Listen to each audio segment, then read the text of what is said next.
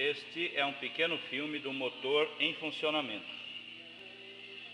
Primeiro nós vamos mostrar ele montado no estande de testes.